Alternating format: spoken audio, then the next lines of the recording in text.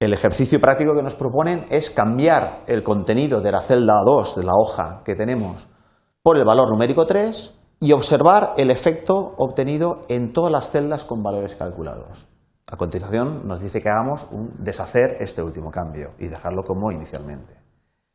Bien, nos vamos a nuestro Excel y eh, recordamos o vemos que tenemos unos datos numéricos introducidos en las dos primeras celdas, un 6 en la celda 1, un 2 en la celda 2, y a partir de ahí todo el resto son expresiones que con referencia a esos dos eh, valores introducidos o incluso a el resto de expresiones, formando expresiones en, digamos, cálculos de expresiones encadenadas, tenemos valores que dependen enteramente de los iniciales. Todos ellos de alguna manera dependen del inicial.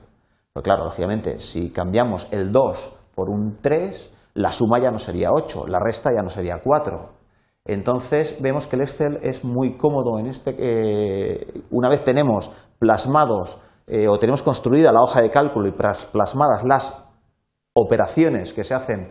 a partir de un determinado mm, números constantes de datos de partida, si nosotros cambiamos los datos de partida, automáticamente se va a evaluar con los datos nuevos. Entonces, cambiar el 2 por el 3 va a ser algo tan sencillo como con, eh, en el modo listo, nosotros seleccionamos la celda que contiene el valor que queremos cambiar, tiene un 2, queremos que haya un 3, le damos al 3, estamos en modo introducir, le damos intro y en el momento le demos al intro se nos van a reevaluar todas las operaciones, de modo que la suma ahora es 9, la diferencia son 3, el producto 18, la división 2, eh, la potencia 216 y la suma de todos ellos, en este caso es el valor 248. Vemos que entonces es muy fácil el eh, reevaluar expresiones o reevaluar el resultado final de una hoja de cálculo que tengo construida si, eh,